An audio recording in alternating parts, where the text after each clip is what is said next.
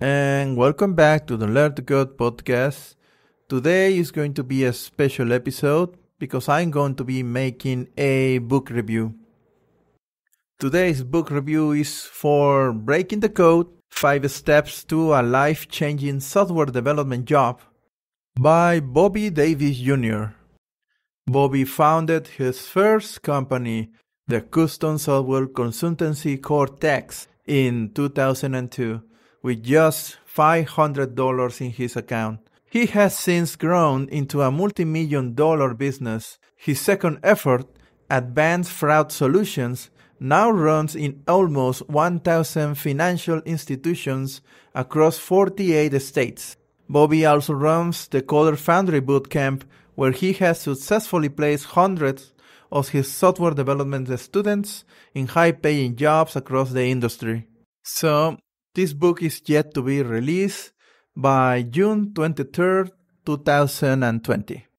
And I am really grateful that Bobby actually sent me a copy beforehand so I can take a look at it. So let's get into it. With 178 pages, the book is very short, which make it really easy to get into and interruptions do not affect you so much. And between the introduction and the conclusion, we do have the contents of the book divided in three main parts. The first one is why coding. The second one is the five steps to a coding career, where most of the content is located. And part three, the first job and future success, which works like uh, some sort of conclusion and uh, after steps after reading the book. So Bobby starts with an introduction and telling us this tale of himself talking to a group of students and basically telling them that mm, probably the next Mark Zuckerberg is sitting in a classroom like this right now. And at the same time, he's telling them that when any other career can help them achieve success, software development is the one that is going to maximize the opportunities for them to actually get into a successful life. The introduction also touches the subject of the modern economy and how the service oriented jobs are overwhelming the market against the manufacturing jobs. He then talks about how you can actually have access to a very lucrative career and job by dedicating yourself to solving problems using software and particularly co-programming and coding. By the end of the introduction, Bobby talks about why he founded Coder Foundry and how its mission is to place the bright, the talented, the underutilized individuals struggling in the job market and place them in positions where they can finally thrive. And now it begins the actual contents of the book with part one, why coding. And this part works for me like a extension of the introduction, sort of, in the sense that it's detailing why uh, he reached to this conclusion that software development is such a great career for anyone willing to pay the price to learn how to actually code. Bobby doubles down on the fact that service jobs are overwhelming the manufacturing jobs today and what this means for the reader, which is basically that coding and programming are a great opportunity to thrive in the current economy. The next section is called Chapter 2 What is Coding? And this section basically tries to translate in the more general sense what coding actually means in society, not just um, from an IT point of view. Um, basically, coding is talking to a computer in a manner that the computer can actually understand um, follow along your instructions because um, you don't just want to say hello to a computer. You want the computer to do something for you. Um, probably if you are actually programming a computer or coding on it, you want the computer to actually do something very specific that you don't find uh, anywhere else, maybe. And, and this is where the first part finishes, pretty much doubling down on the introduction and uh, arguing the case of programming and how important it is not just for you or for the people doing the actual coding, but for the society as a whole and why the impact of software development is so great on modern society. Part 2 The Five Steps to a Coding Career. This is the great section where most of the valuable content resides in. So, since the introduction and part one are dedicated to basically achieve two things, and one is to uh, talk to the reader and tell him or telling her that he or she can actually achieve success as a programmer, as a coder. You don't really need any special talent. You don't really need to be born uh, in a, a, special way or have um, anything specifically just for coding. Anybody can learn how to do it. And that's the beauty of it. It doesn't have um, uh, a gatekeeping uh, system like uh, for example maybe you want to become a, gym, a gymnast uh, maybe a, a high um, performance athlete you need to train even bef- before you are even a, a, grown-up adult maybe from childhood and in this case you can start your coding career as late as, as your 60s or maybe even 70s uh, there is not really a limit on age and uh, Bobby agrees that um, you are not limited by your age group or by your generation to do the job. So, part two is dedicated to the five steps to a coding career. And the step one learn the right stack. So, Bobby seems to be a .NET developer. Coder Foundry is teaching web development using the .NET stack. Uh, the .NET stack belongs to Microsoft and is a Microsoft dedicated technology. If you work with Windows, if you work with Windows servers and Azure Cloud, um, you are going to feel in, in your element here. So, although I am not a .NET developer, I used to be way back in the day, and I'm talking back to 2004 uh, in that year, .NET development was all over the place. Uh, yet, uh, in my honest opinion, way back in the day, I do not know. I ignore what .NET is is uh, is today. But way back in the day, it was really hard to work with. Um, the leading of the company was in somebody else's hands, and it wasn't really open uh, for external systems, and it was really hard to work with any other system that weren't Microsoft owned. Uh, yet, I guess that that may change in the future and probably did because I'm talking about 2004 and that's almost eight, uh, 20 years ago, maybe almost. Um, so it's, it's been quite some time. Uh, but uh, he mentions and made the case, Bobby makes the case that uh, the .NET stack is the most um, demanded stack in the in the job market. Uh, he even uh, shares that most of the time you're going to be hired into a company that requires the .NET stack. That's why he's teaching .NET. And the promise of .NET is that by learning the stack, that's the only stack you are going to ever need to learn.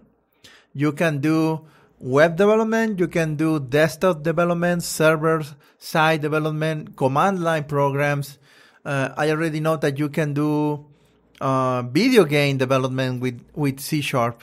And basically, uh, instead of using Visual Basic, like way back in the day, today you just learn C Sharp and learn how to use the IDE for it, that is Visual Studio.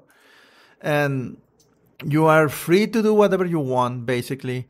And Bobby dedicates his efforts at Coder Foundry at teaching you web development. So Bobby is an advocate, uh, uh, is basically advocating for the use of .NET as its main platform, and he's basically um, making the case of choosing .NET as your starting stack.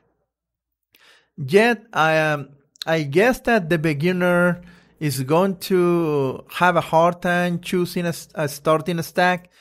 Yet the truth is that once you learn one stack, um, learning a new one is not as hard as the first one because most of the basic concepts like classes, like variables, like loops, um, like um, even advanced stuff like uh, regular expressions, all those concepts uh, are pretty much the same. Just the syntax change tends to change a little bit. And I do remember that I just saw some a little bit of code um, where Bobby actually showed us this that coding something in two different programming languages seems to be pretty much the same. So it's not going to be a hard uh, work for you to pivot from .NET to another thing. And .NET is great for learning how to program and coding actually. So that's the first step. Learn the right stack, at least at the beginning uh, with the option of jumping into a different step. Maybe you want to develop websites with a Python backend or maybe a Node.js uh, stack, probably. Uh, whatever you want to do, learning .NET seems to be like a, a, a very useful stack for finding jobs. And it's not limiting you to just that. So you are not marrying uh, .NET uh, to the end of your day. So don't worry about it. Step two choose your school. Bobby mentions that you have a lot of options to learning how to code. And the first one that many people look into is obviously video tutorials, and probably YouTube is the main first option for a lot of people. This happens because it's free this happens because um, being a video website, uh, the the likely that you find something useful on it is really high. There is a lot of tutorials there. Um, yet I do think that most of the free options and free tutorials on YouTube don't really deliver on the promise of teaching you how to code. They probably touch uh, one thing useful here and there, uh, but the truth is that students really are looking for uh, a structure, a path to follow, and most of the work needs to be done in that aspect on the free tutorials. Basically, tutorials are just that, are just a, a, a one video, one thing kind of deal. So the structure shown there is, is basically nothing compared to uh, a video course, which is basically the, the second option.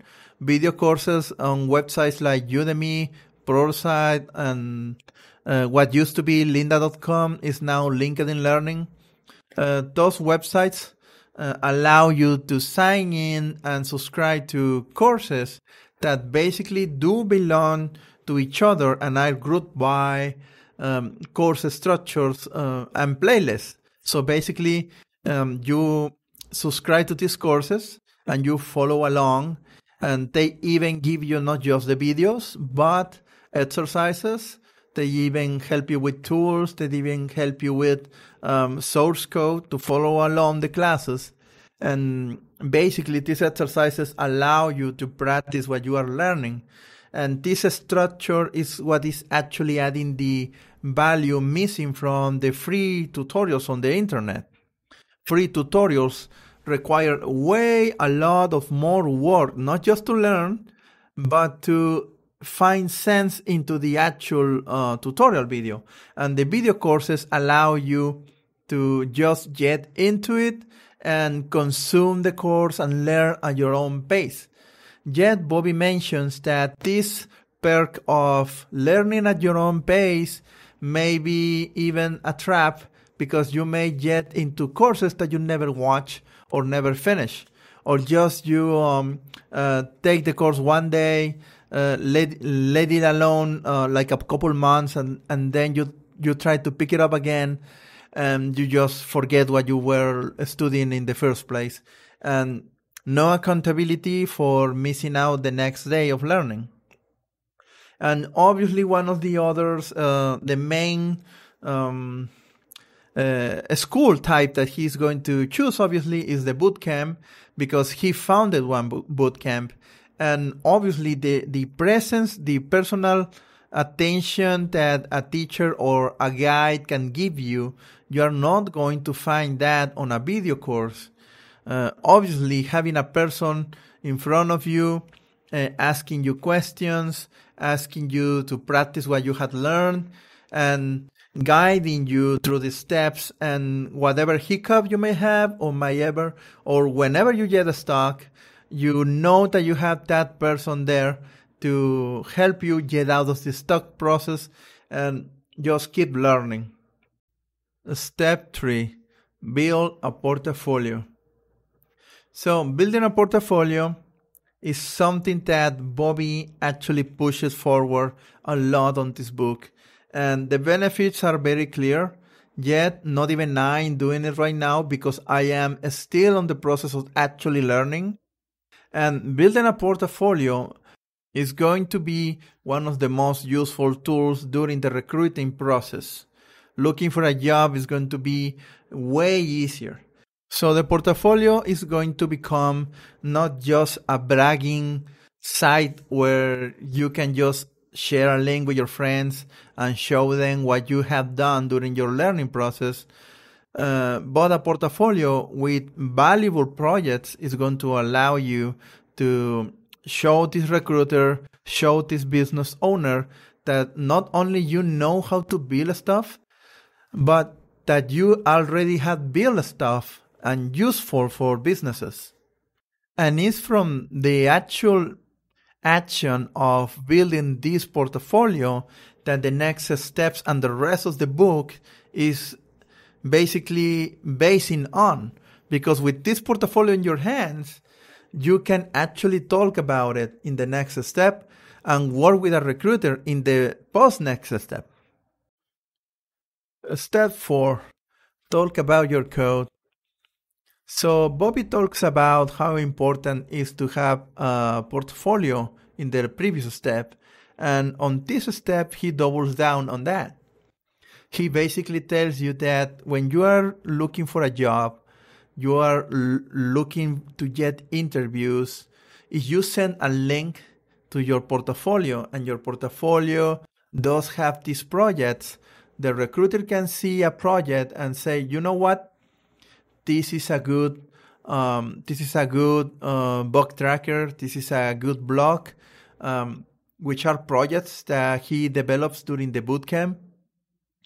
Um, then you can actually start talking about your code and how you build that tool instead of answering uh, plain random coding interview questions and white whiteboard questions also so the recruiter is going to look for how do you know how to code and how much do you know how to code. And probably the recruiter is not somebody that codes himself. But you show him a project, like for example, a, a, um, a ticket system, maybe, or a bug tracker. You can start talking about the bug tracker itself and then you're going to find yourselves talking about the code you already wrote. So that is going to take the interview into your control because obviously you are going to start explaining what you already did to somebody and that's just going to put you automatically in the position of an expert. So that's what the step 4 is all about. It's a really interesting step. So let's move on. Step 5 Work with a recruiter. So, in the past, programmers were pretty much lone wolves. They were very sought after because of their skills, uh, but those days are long gone. nobody does anything alone anymore. At least not something that gets released uh, with enough speed, because um, one person projects are fun and all, but most likely than not, if you want something that is going to be touching a lot of hands and it's going to be getting the sights of a lot of pair of eyes, then you're going to need to work with a team. So uh, rec- you need to work with a recruiter in the sense that if you are looking for a job, a recruiter is going to filter out uh, not just the candidates for those to fill in those jobs, but he's going to look for the jobs to get you into them.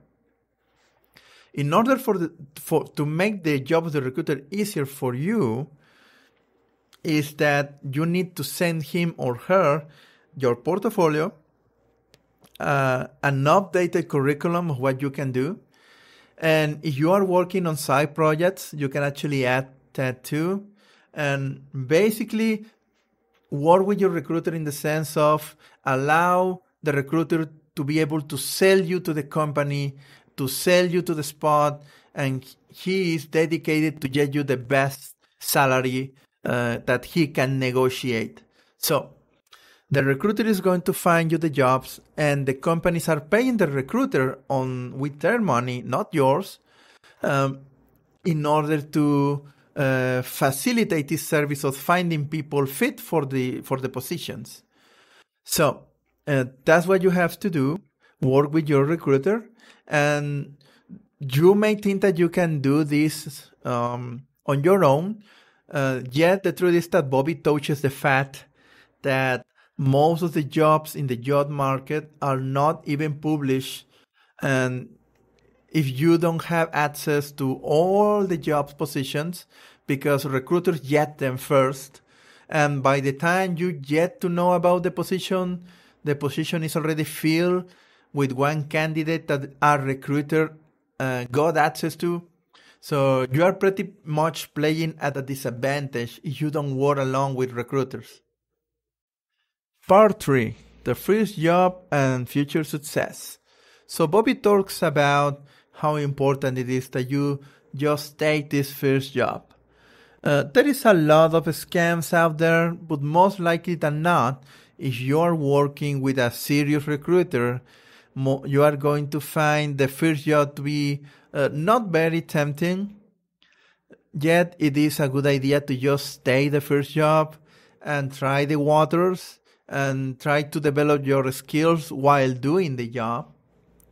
And he touches um, the idea of uh, maybe it's not going to be your dream job, the first job you get after the bootcamp. Uh, yet you are going to learn just enough to ascend to a better job later. So it is important that you take this first job because if the recruiter gets a rejection on your part, most likely than not, he's going to mark you on his database or her database and it's going to be ho- even harder for you to get another job or the job you are actually looking for. So uh, don't be picky the first time, just take the first job. Uh, and then we do have the chapter of specializing your free time.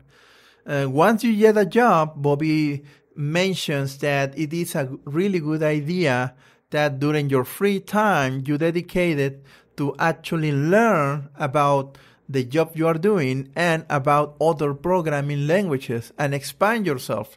Don't get comfortable just working with one stack. And although your work your work is fully committed to one stack maybe or you are a, a web developer that just works with uh, C sharp on the on the .NET framework, uh, that is well well and good, but maybe learning another stack of web development may prove to be useful in the future because it's going to allow you to be flexible. It's going to allow you to get involved in other projects uh, on different stacks and bring your skills to other teams. So, uh, learn, specialize in your free time. And the next section, the next chapter is communication rocks. Uh, in this part is going to be a little touchy for me because I don't talk too much to people. But the truth is that um, Bobby is on point on the communication issue that I have at least. And he mentions that there are two kinds of developers and they are not separated by skill. They both do the same job. They both do the same quality level on the job. Um, and on one hand, we do have the lone wolves, the the people, the grumpy coder that doesn't like to talk to people. And I have to admit that I used to be like that, and I hope I'm not anymore. Yet I don't have a job to actually try that, but never mind. Uh, and this coder is basically just a shut-in that doesn't share information because he's afraid of losing his job or her job to somebody else. Because if I teach what I all I know, then that other person may actually be able to uh, to take my job, and that's just not true. But anyway, communication rocks, and that's the second kind of developer the rock star. And the rock star is not uh, a person that codes very fast or that does these uh, crazy algorithms. No, uh, he's just basically someone that loves to share the knowledge, that loves to help other people. And everybody loves to work with him or with her. Why? Because whenever they have a problem, they can just ask and receive uh, valuable information or just stay out of uh, the pit or not be stuck anymore. So the rockstar coder is basically a person that shares the knowledge. Uh, most of the time, they like to create videos, uh, video tutorials. Uh, they do manuals. They do maybe even podcasts. Who knows? And those people try to share the knowledge, and they are really good to work with because they are, they become pretty easily one of the leaders of the development teams. Since they talk to everybody, they get involved with the code of the, of a lot of people, and since they get asked uh, from different people, then obviously they already know the pains of the software, and more likely than not, they are going to be able to help the team as a whole and as an individual. So these are very valuable people. And Bobby mentions that it's a good idea to become a rockstar coder uh, rather than a, uh, a shooting that just uh, is grumping alone in, in a cubicle. And more likely than not, the promotions are going to come for those kinds of people that loves to share knowledge and show and, and share uh, the productivity boost from having such knowledge. And finally, uh, the last chapter is Stay Committed, which is basically uh, the mantra of self discipline of don't quit and just stay committed to it, and eventually it's going to work. Probably you are not going to see the end of the tunnel or the light, even, uh, but he promises that if you stay committed to the craft, uh, you are going to be rewarded. And I have to say that that is actually true. So, uh, this is the end of part three the first job and future success. And finally, the book ends with a conclusion and a sh- really short note and description about the author. And the conclusion just closes by encouraging you to get into coding and the book basically sells you the idea of becoming a software developer, a programmer, a coding monkey, you want to call it like that. And uh, the book does a really good job about it. It doesn't show almost no no code actually, just a little example of comparing uh, a couple of sections of code, uh, and they are pretty similar uh, between them anyway.